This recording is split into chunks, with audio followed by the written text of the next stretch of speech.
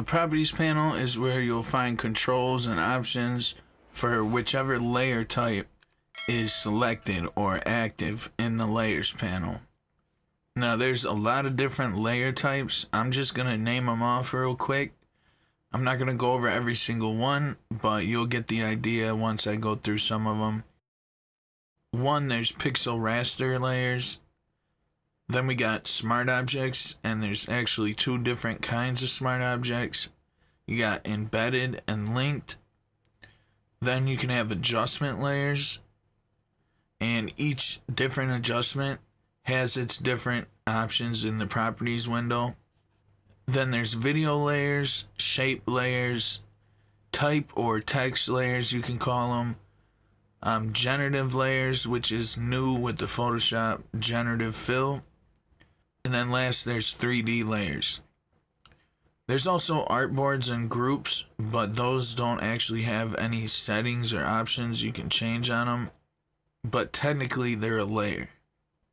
And then we also have uh, the properties for the masks, which it can be layer masks, vector masks. So let's just go ahead and show you. Right here, I have the properties panel open, and then the layers panel's open right here. If I click on a layer, let's click on this type layer.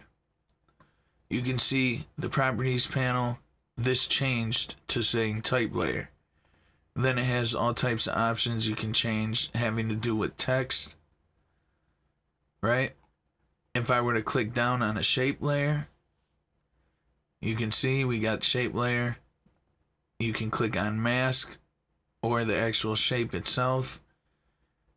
You got some other settings. You can change the density, the feather.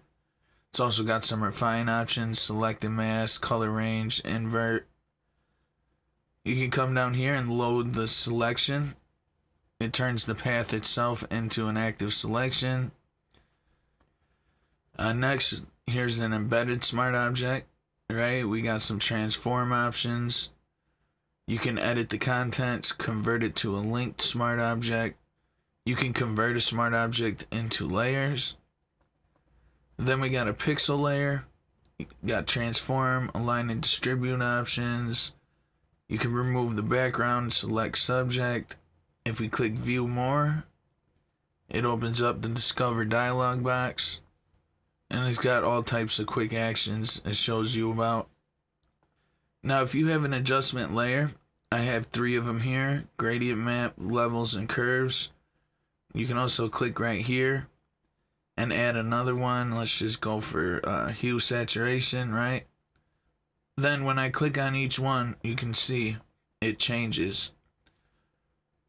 Now all these options, they're the same as the adjustment dialog boxes, right? It's got the same thing. So if I were to select this layer here, right?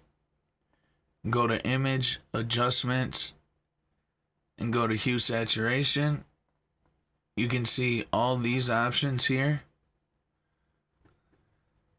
Be looking out for my other videos that are going to go over and explain about all the different adjustment layers and the controls. Um, this video is not for that. It's just to show you what the properties panel is. I'll probably leave a link in the description if I have that video recorded before I put this one out. Otherwise, you can look on the channel and the playlists. I'm going to have them all organized pretty good so it's pretty easy to find what you need. If you got any questions or comments, make sure to put them in the comment section below. Thanks for watching, and I'll catch you in the next one.